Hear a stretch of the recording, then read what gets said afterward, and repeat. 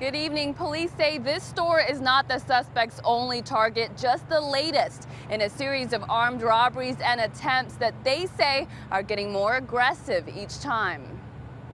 This guy is dangerous. Frightening moments for this store clerk when a man posing as a customer approaches the counter Wednesday night and whips out a gun. It's kind of sad. Like, you really don't hear too much like that going on this side of town. Customers look on in shock as the suspect yanks the clerk around and pulls him towards the register. Police say when the clerk couldn't open it, the bold thief shot him in the arm and left the store. Just committing any type of robbery is one thing. Using a firearm, that's another. Now actually firing that gun during the course of that robbery. Yeah, this guy is extremely dangerous and we want to get him off the streets. Riverside police say the man they've dubbed the Silver Revolver Bandit for his weapon of choice has done this before. They believe he's responsible for four other robberies in the Riverside and Moreno Valley area. It looks though that this one at the Circle K the other night was the first time he actually used that gun and fired at somebody.